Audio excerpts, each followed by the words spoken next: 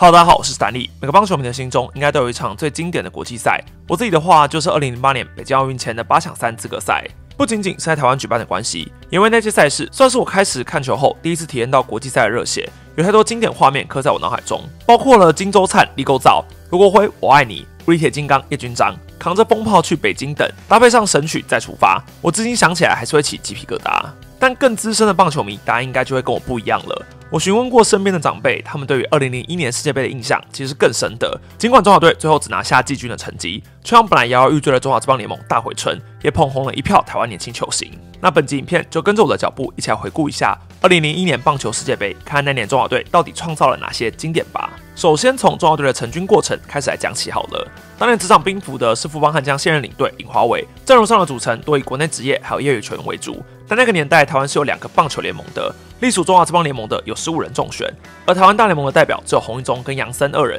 双方选手的人数差距，也造成世界杯成功之后，原先人气较低的中止，票房反超 TML 的关键。除了台湾本土选手以外，那一届的阵容还有旅外精英，分别是旅美道奇的陈金峰、旅日西武的许明杰，还有旅日中日龙的陈大峰。要说赛前讨论度最高的选手，绝对非陈大峰莫属。常年旅日的他，在那年首度接受联合会总教练的邀请，披上了中华城棒队战袍，以三十八岁的年纪接下队长任务，坐镇中华队四棒，跟陈金峰组成峰峰连线，非常令大家期待。另外名单中还有一个遗珠，就是零一年的兄弟首轮，刚在职棒窜起的彭正明，现年首度参与台湾大赛，就交出四成六七的惊人打击率，还有两发红不让，也拿下优秀球员赏。反倒是同队的陈志远，同为第一年打职棒的新秀，他进入台湾大赛后陷入低潮，却仍旧入选了中华队，因此受到不少球迷的质疑。那零一年的世界杯也可以说是当时台湾举办过最大的棒球盛事，总计十六个参赛国，超过三百名球员来台，分成了四个场地进行。台湾还有美国、法国、南非、意大利、多米尼加、尼加拉瓜跟韩国队同属 A 组。根据资料，当时台北还有高雄还发生了场地争抢的插曲。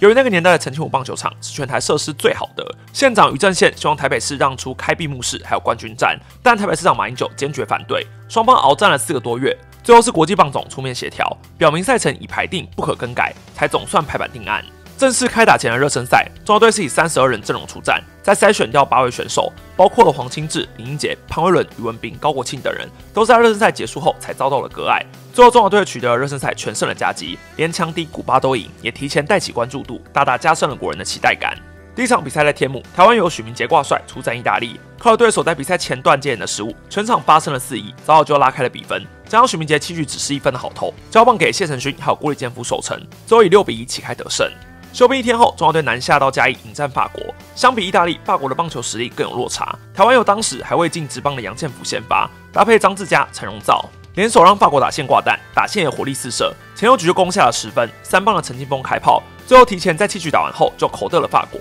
取得两胜后的中华队，第三战面对尼加拉瓜，虽然也赢球了，但赢得就比较惊险。最主要是先发投手宋兆基，在中职是金队的主力投手，却在国际赛舞台失常了。只撑了一点一局，提前退场，一度让首局攻下三分的中华队只剩一分领先。幸好紧急救火的陈荣造登板后锁住尼加拉瓜攻势，没有丢到任何分数。加上正手三垒的张泰山不但有一次手背上的美记，还挥出阳春炮添加保险分，最后台湾才能够取得三连胜。因为宋兆基在尼加拉瓜这一战只投一点一局，教练团认为他体力足以负荷，所以隔天对南非的比赛再次推出宋兆基先发，想要给他一个血耻的机会。就他这一次被队友连累，二游的杨森、许胜杰接连失误，导致中华队从领先变落后。宋兆基也在两局投完后就提前退场了。虽然张志佳接手后，中华队没有再丢分，但打线却陷入苦战。前面四局只得一分，直到第五局精神领袖陈大峰跳了出来，挥出石破天惊的逆转满贯弹。两前三战手感冰冷的他如释重负，最后率领球队赢得四连胜，以八比二赢球。第五站碰头强敌，以小联盟选手为主体的美国队，陈金湖棒球场涌进两万五千名观众，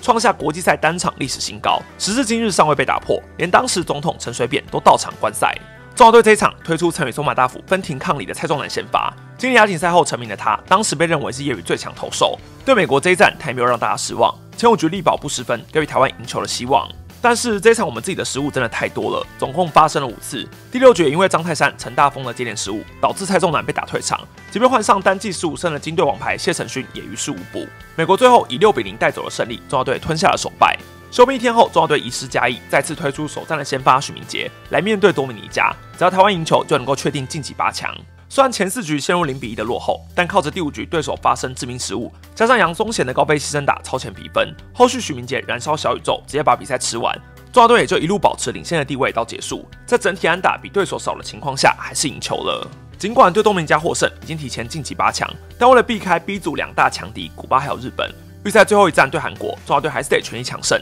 争取更好的八强席次。这场比赛台湾推出的是业余投手张志佳，当时他还没有打直棒，却能在这届世界杯一举成名，打开了旅日的大门。关键就在于他对日韩两战的先发真的太神了。当年韩国的阵容虽然没有像曼谷亚运那样有朴赞浩这种等级的主将，但整体也是职业军为主体，像李在根、金泰君、李炳圭等人，后来都成了国家队主力，而张志佳却能够独撑九局，送出十二 K 只失一分。搭配陈金峰开炮助威，最后以五比一过关，也让中华队顺利分组第一晋级，站上比较有利的位置。来到了八强战后，中华队选择先退出预赛对美国好投，最后却吞败了蔡仲南二度挂帅来迎战荷兰队。场面球迷纷纷请出了郑成功来为阿甘加油，他这一场则展现了更胜上一场的压制力。前面七局演出完打比赛，送出九张老 K，真的是无可挑剔的内容。最后在阿甘八局无十分好投，还有张泰山开轰，投打齐心，以二比零完封了荷兰。两让蔡仲完的人气再升一阶，奠定了直插王子的名声。因此，后续要投入职棒的他，才能够引发两联盟的强人大战，拿到破纪录的六百万签约金，至今还是无人能够超越他。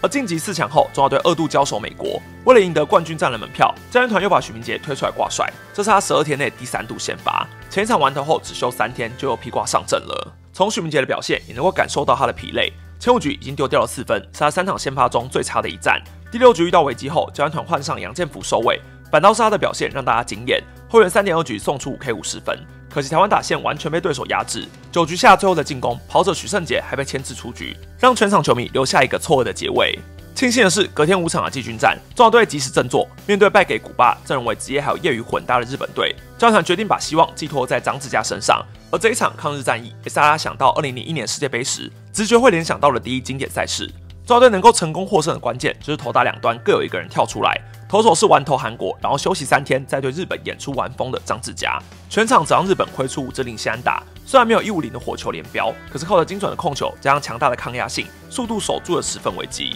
像第六局在一出局满垒的情况下。张志佳让对手击出二垒方向滚地球，靠着黄宗义还有郑昌敏流畅的配合，完成了关键的双杀守备。当时张志佳走下投了球，自信握拳的神情真的非常帅。还有第七局中华队出现了回传球的瑕疵，让推进到三垒的日本跑者有机可乘，决定往本垒冲。当时我原本以为这边要掉了，幸好中华队的补救很及时，让跑者死在了本垒。日本也因此连续两局被双杀，后续反攻无力。打者的部分当然就是陈金峰了。这场中华队的三分全部都由他打回来。第四局先来一发阳春弹，第七局则炮轰中村准人。打出去后，连一向冷静的峰哥都兴奋的双手握拳。那日中华队通算有四十三分打点的进账，陈金峰就占了十四分，最后赢得了打点王，可以说是以一己之力扛下了整条打线。虽然中华队最后是季军，但因为前两名分别为古巴还有美国，台湾晋级路上确实击败过韩国还有日本，因此这个世界杯季军在当时被视为亚洲第一的荣誉，意义确实格外重大。而且透过这次世界杯，明显有感受到台湾棒球的回温，对当时被甲球案重创又分裂为两个联盟的恶劣环境，可以说是一大救赎。